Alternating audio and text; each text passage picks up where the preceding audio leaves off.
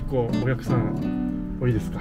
いや今日ちょっとなんか重なりました。おおどうぞちょっといただきますね。はい。いい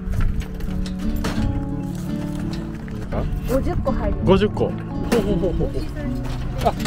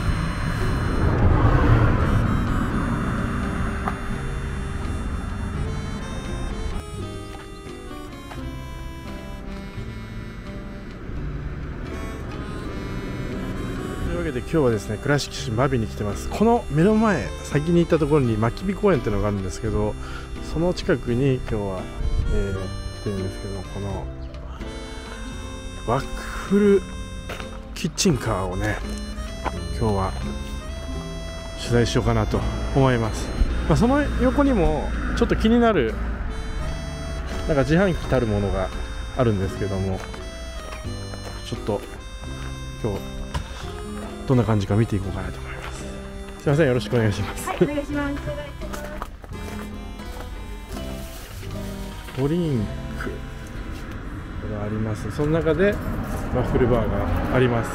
このワッフルバーっていうのはやはりバーっていうことでもう手を手を汚さずに食べれるっていうことですよね。はいちょっとい一番人気。あこれですね。ちょっと一番人気を注文させてもらってもいいですかね。はいありがとうごすいまざいますせんよろしくお願いします。はいやっぱ結構お客さん多いですか？いや今日ちょっとなんか重なりました。はすごい量の、ね、いすごくちょっどうぞ。といただきますね、はい。これはあのやっぱまとめて買ったら安いみたいな感じなんですか？そうです。ねせあ1個でで2個買ったら750円。で3個で1000円っていう。いただきます。食感がいいですね。これ中のなんかふねえ。うーん。納得の味と価格でございます。400 400円ですよね。うーん。じゃあねちょっとやっぱこれから夏になっていくんで、爽やかなブルーでお願いします、はいありがとうございホップレモネード。はいじゃあ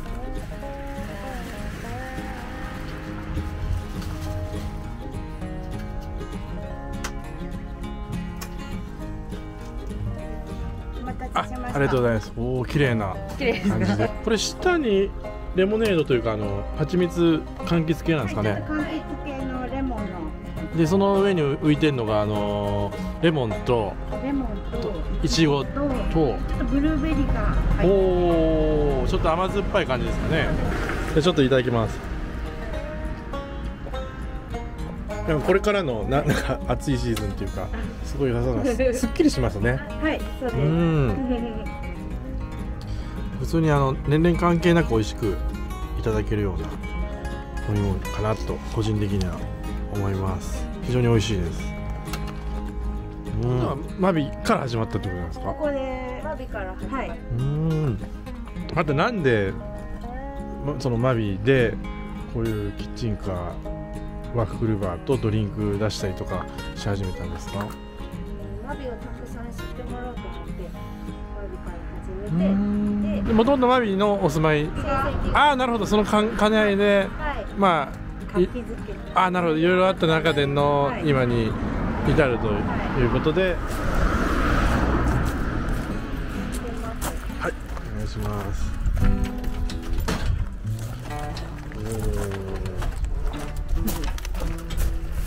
あ、あれですね、ジュースの缶とはい。分かれてるんですね。そうですここがああ、おー。だいたいワッフル何個ぐらい入るんですか？50個入ります。50個。あでも変えれるんですよ個数は。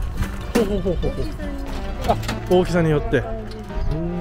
あじゃあ大きかったらこの仕切りあ取って。へえ、まあ時間に関係なく先ほどのワッフルがいいただけるということですね。すごい便利ですねなんか。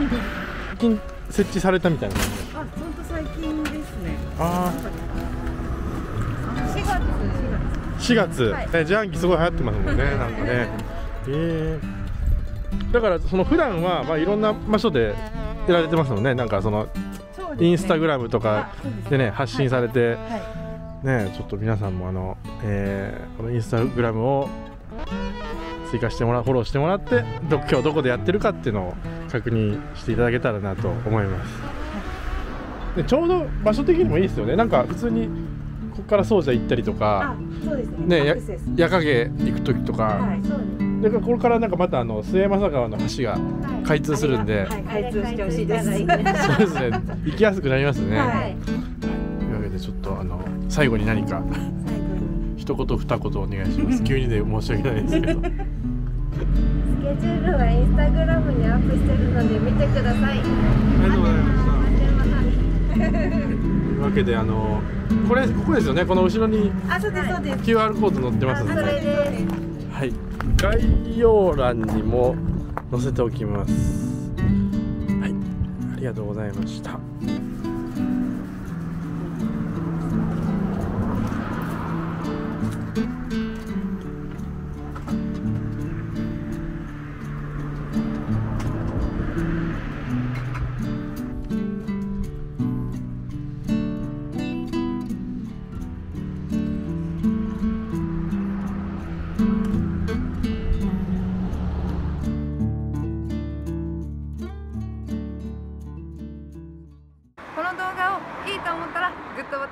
悪いと思ってもグッドボタンチャンネル登録もよろしく。スピチューブインスタグラム始めました。